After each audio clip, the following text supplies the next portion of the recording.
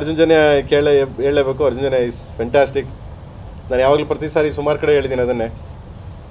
ಅವ್ನು ಹಾಸ್ಪಿಟಲ್ ಇದ್ದಾಗಲೂ ಅಷ್ಟೇ ನನ್ನ ಸಾಂಗ್ ಪ್ರತಿ ಸಾಂಗ್ ರಿಲೀಸ್ ಆಗಬೇಕಾದ್ರೂ ಒಂದು ಮೂರು ಸಾಂಗ್ ರಿಲೀಸ್ ಆಗೋ ಟೈಮಲ್ಲಿ ಹಾಸ್ಪಿಟ್ಲಿಗೆ ಹೋಗೋನು ಬಡಿ ಮಗ ಅವನು.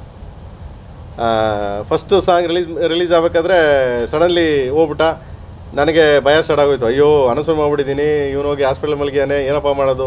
ಮಗ ನಾನು ಬರಲೇನೋ ನನ್ನ ಮಗ, ನಾನು ಬರಲೇನೋ ನನ್ನ ಮಗ. ಒಂದು ಸ್ವಾರ್ಥ, ಒಂದು ಇನ್ನೊಂದು ಏನಂತಂದರೆ ಅವ್ನ ಹೆಲ್ತ್ ಇಂಪಾರ್ಟೆಂಟ್ ನಮಗೆ.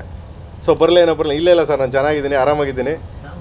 ಅಂತ, ಯಾ, ಈ ಸೆಲ್ಫ್ ಏನೋ ಹೇಳ್ತಾರಲ್ಲ, ಏನದು? ನಮ್ಮ ಸೆಲ್ಫಿಸ್ಟ್ ಸೆಲ್ಫಿಸ್ಟ್ ಅನ್ಕೊಳ ಆಮೇಲೆ ಇಂಗ್ಲೀಷ್ ಬರೋಲ್ಲ, ನೀವು ಏನೋ ಹಾಕಳಿ ತೊಂದರೆ ಇಲ್ಲ, ನಾವೇನು ತಲೆ ಕೆಡ್ಸ್ಕೊಳ್ಳಲ್ಲ ಸೊ ಅದು ಮಾಮೂಲಿ ಎಲ್ಲರೂ ಗೊತ್ತೇ, ನಿಮ್ಗೇನು ಹೊಸ್ತೇನಲ್ಲ ಕರ್ನಾಟಕ ಗೊತ್ತಿದೆ. ಆ್ಯಂಡ್ ಅದರಲ್ಲಿ ಅದೊಂದು ಭಯ, ಏನಪ್ಪ ಫೋನ್ ಮಾಡಿದ ತಕ್ಷಣ ಲೇ, ನಾನು ಬಂದ್ಬಿಡ್ತೀನಿ, ನಾನು ನಾನು ಬಂದ್ಬಿಡ್ತೀನಿ ಅಂತ ಒಂದು, ನೀನು ನೋಡೋಕ್ಕೆ, ನಾನು ಬಂದ್ಬಿಡ್ತೀನಿ ಅಂತ ಎರಡನೇದು ಅಯ್ಯೋ, ನಂದು ಹಿಂಗಾಗಿದೆ ಗುರುವೆ. ಏನು ಮಾಡಲಿ ಗುರುವೆ ಅಂತ. ಬಟ್ ಎಲ್ಲನೂ ಹಿಂದಕ್ಕೆ ಹಾಕಿ ನಿಜವಾಗ್ಲೂ ಬ್ರದರ್ ಅವ್ನು, ಅವ್ನಿಗೆ ವ್ಯಾಟ್ಸಪ್ ಹೇಳೋಕ್ಕೆ ಇಷ್ಟಪಡ್ತೀನಿ. ಯಾಕೆಂದರೆ ಅದ್ಭುತವಾಗಿ ಅವನು ಆ ಮಲಗಿದ್ದಾಗಲೂ ಅವನಿಗೆ ಒಂದು ಇದನ್ನು ಸ್ಟಂಟ್ ಕೂರಿಸ್ಬೇಕಾದ್ರೂ ಕೂರಿಸಿ ಮಾರನೇ ದಿವಸನೂ ಅವ್ನು ಫೋನ್ ಮಾಡಿ, ಮಗ, ಒಂದು ವೈಲಿನ್ ಸೋಲೋ ವೈಲಿನ್ ಹಾಕ್ಬೇಕಾಯ್ತು ಕಣೋಲೆ ಅಂತಂದರೆ, ಸಾ ಸೋಲೋ ಬೇಕಾ, ಸಾ?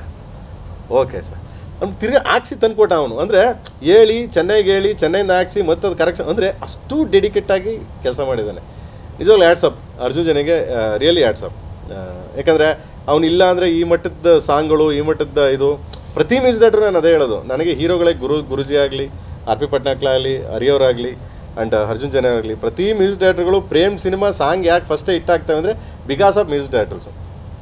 ನಾನು ಅವಾಗ ಅವಾಗ ಹೋಗಿ ಹಣ ನಿಮ್ಮ ದಮ್ಮಯ್ಯ ಕೊಟ್ಬಿಡಿ ಅಂತಲೇ ಕೊಡ್ತಾರೆ. ತಗೊಂಡೋಗೋ ಮನೆ ಮನೆ ಅಂತ. ಸೊ ಇದನ್ನು ಇಟ್ಟಾಗ್ತದೆ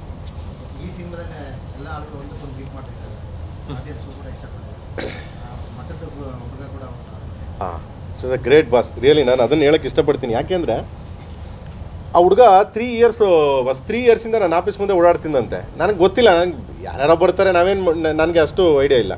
ಮೂರು ವರ್ಷದಿಂದ ಓಡಾಡ್ತಿದ್ದಂತೆ ಅವನನ್ನು ನೈನ್ಟೀನ್ ಬರೋಕ್ಕೆ ಹೇಳಿದ್ದೀನಿ ಕೂಡ. ಸೊ ಓಡಾಡ್ತಿದ್ದ ಕೊನೆಗೆ ನಮ್ಮ ಚಂದ್ರ ಕರ್ಕೊಂಡು ಪರಿಚಯ ಮಾಡಿಸ್ತಾನೆ ನನಗೆ. ನಾನು ಹೇಳಿದೆ, ಏನು ಬರೀತೀಯ ನೀನು? ನೀನೇನೋ ಬರ್ದಿದ್ರೆ ಕೊಡಲ ನನಗೆ. ಸುಮ್ಮನೆ ಅವ್ನು ಕೂತ್ಕೊಂಡು ಟೈಮ್ ವೇಸ್ಟ್ ಮಾಡಿಕೊಂಡ್ರು ಪ್ಲೀಸ್ ಅಂತ.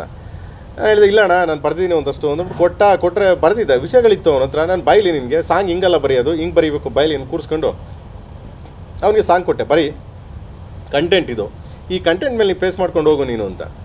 ಒಂದು ವಾರ ಬರ್ದ ಅವನು, ಒಂದು ವಾರ ಬರೆದ್ಬಿಟ್ಟು ಊರಿಗೆ ಹೋದ, ಊರಿಂದ ತಗೊಬಂದ ನಾನು ಅದೇ ಹೇಳಿದೆ, ಇಲ್ಲ ಓಕೆ ಚೆನ್ನಾಗಿ ಬರೆದಿದ್ಯಾ? ಪದಗಳು ಚೆನ್ನಾಗಿವೆ. ನಾನೊಂದು ಸ್ವಲ್ಪ ಕರೆಕ್ಟ್ ಮಾಡ್ತೀನಿ, ಇಲ್ಲೇ ಕುತ್ಕೊ ಅಂದ್ಬಿಟ್ಟು ಫಿಫ್ಟೀನ್ ಡೇಸು ನನ್ನ ಆಫೀಸಲ್ಲೇ ಕುಂತ್ಕೊಂಡು ಅವನು ಕರೆಕ್ಷನ್ ಮಾಡೋದು ಮಾ ಬರ್ದ. ಇವತ್ತು ಆ ಸಾಂಗ್ ಯಾವ ರೇಂಜ್ ಯಾವ ರೇಂಜ್ಗೆ ರೀಚ್ ಆಗಿದೆ ಅಂತಂದರೆ, ಯಾರೋ ಹಿಸ್ಟ್ರಿನ ಬರೆದವರು ಪುಸ್ತಕನ ಓದೋರು ಬಂದಿಲ್ಲಿ ಮಾತಾಡ್ರಪ್ಪ ಅಂತ ಎಷ್ಟು ಚಂದ ಬರದ ಅಂದರೆ ವರ್ಡ್ಸ್ಗಳನ್ನ ನನಗೆ ಖುಷಿ ಆಯಿತು. ಇವತ್ತು ಚಿಕ್ಕ ಚಿಕ್ಕ ಮಕ್ಕಳಿಂದ ಹಿಡಿದು ದೊಡ್ಡ ದೊಡ್ಡ ಎಂಬತ್ತು ವರ್ಷ ಮುದುಕಿರೋವರೆಗೂ ಅಂದರೆ ಅಜ್ಜಿದಿರೋವರೆಗೂ ಹಿಡಿದು ಪ್ರತಿಯೊಬ್ಬರು ಹಣೆಗೆ ಬಟ್ಟೆ ಇವನೇನು ಹಣೆಗೆ ಬಟ್ಟೆ ಕಟ್ಕೊಂಡು ಡ್ಯಾನ್ಸ್ ಮಾಡಿದ್ದಾನೆ ಎಲ್ಲರೂ ಇನ್ನೂರ ನಲವತ್ತು ಮಿಲಿಯನ್ ಹೋಗಿದೆ ಅದು ರೀಲ್ಸ್ ಇನ್ನೂರ ನಲವತ್ತು ಮಿಲಿಯನ್ನು ಅದು. ಅಂದರೆ ಇಪ್ಪತ್ತು ಕೋಟಿ ಮೇಲೆ ರೀಚ್ ಆಗಿದೆ. ನನಗೆ ಅದೇ ಆಶ್ಚರ್ಯ. ಅಂದರೆ ನಾನು ಅಂದ್ಕೊಂಡೆ ಅರೆ ಎಣ್ಣೆಗೂ ಎಣ್ಣೆಗೂ ಅಂತ. ಏನಕ್ಕೆ ಅಂದರೆ ಎಣ್ಣೆಗೂ ಎಣ್ಣೆಗೂ ಅಂತ ತಕ್ಷಣ ಎಲ್ಲರಿಗೂ ಅದೇ ಇಷ್ಟ. ಎಣ್ಣೆ ಇಷ್ಟ, ಅದನ್ನು ಇಷ್ಟಪಡ್ತಾರೆ ಅಂತ ನಾನು ಇಷ್ಟ ನಾನು? ನಮ್ಗೆ ಎರಡೂ ಇಲ್ಲ ಗುರುವೆ. ನಮ್ದು ಎರಡೂ ಇಲ್ಲ. ಸೊ ತುಂಬ ಚೆನ್ನಾಗಿ ಅದ್ಭುತವಾಗಿ ಬರ್ಕೊಟ್ಟ ನನಗೆ. ಅದಾದಮೇಲೆ ವಿಜಿ ಒಂದು ಸಾಂಗ್ ಬರ್ದ ನಮ್ಮ ಡೈಲಾಗ್ ರೈಟ್ರು ವಿಜಯ್ ಈಶ್ವರ್ ಒಂದು ಸಾಂಗ್ ಬರ್ದ ಮೀಟ್ ಮಾಡೋಣ, ಇಲ್ಲ ಡೇಟ್ ಮಾಡೋಣ ಸಾಂಗ್ ಬರ್ದ.